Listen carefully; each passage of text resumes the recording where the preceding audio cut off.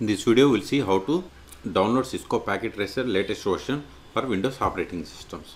Okay, first go to netacad.com. It is networking academy learning site. Okay, to get the Cisco Packet Tracer, click on this Explore.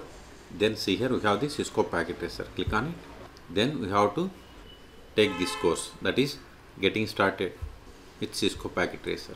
Okay, so see here we have the getting started with Cisco Packet Tracer. Then scroll down, go to here, see here we have the download Cisco Packet Tracer. Okay, but we are unable to download. So to download we must register or login if you have already account. So we have to click on login. Then you have to provide email. If you don't have, then click on sign up. I have already login, so I am going to login. I am hiding these details.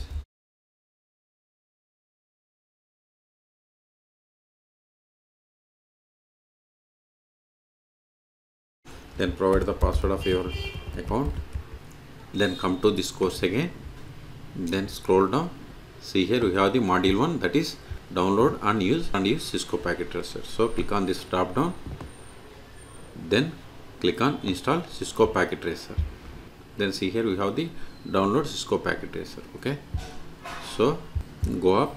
If you have enrolled just you need to enroll. I have already enrolled so click on resume course then only we will be able to see here in the left side we have different options. So we have to click on this download Cisco packet tracer then come here see here we have the download Cisco packet tracer see here we have the link.